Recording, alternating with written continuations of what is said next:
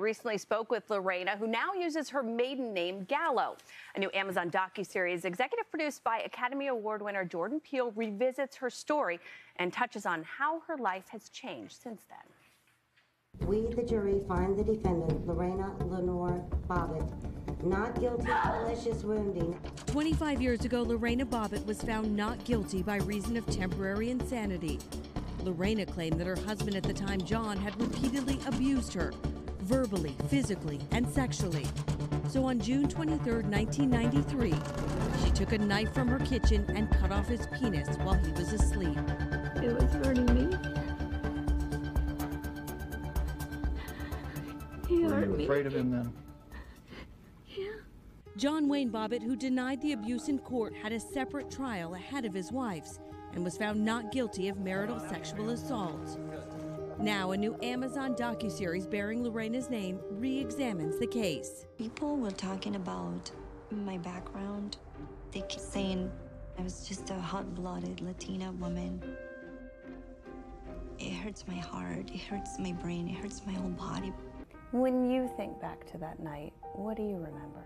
I don't remember anything, how it happened, but um, I honestly don't even want to know what happened because I will be traumatized again. And what about of the days following of, of the trial? I was under so much stress. It was very difficult to go through strangers and to expose my personal life. The jurors, the judge, it was very intimidating. Do you think about what happened to you every day? I don't live in the past. I try to live a happy life. I don't think about memories that I have with my ex-husband. So you don't feel like that defines you? John did not define me at all. The whole situation did not define me at all, no. Do you regret the action you took? Oh my God, how could you regret something that was not planned? You have to understand, my I wasn't in my right mindset. Psychologically, I was not well. Bobbitt, who now goes by Lorena Gallo, has moved on with her life and is mother to a 13 year old. What is your life like now? It's very busy. Um, I do have um, a foundation called Lorena Gallo Foundation. I help uh, domestic violence survivors and victims, and I do that throughout the community.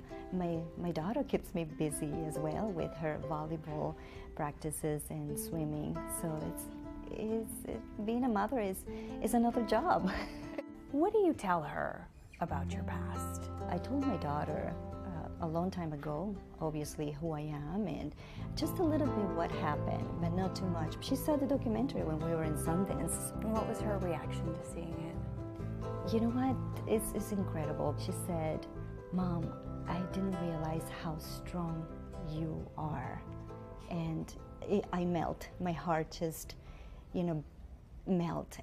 Lorena says that faith is what guided her all these years. Have you forgiven John? I forgive him, but I don't forget what he did to me. I mean, sometimes they're very, I mean, things like that you just don't forget. Did it take a long time to forgive him? I would say mm, yes and no. Yes, because I didn't understand why he did that. But I mean, I, I don't live with a grudge. In order for me to move forwards, I I have to be happy with myself. And one of the things that I have to understand is learn to forgive. Forgive him. But I never forget what he did to me.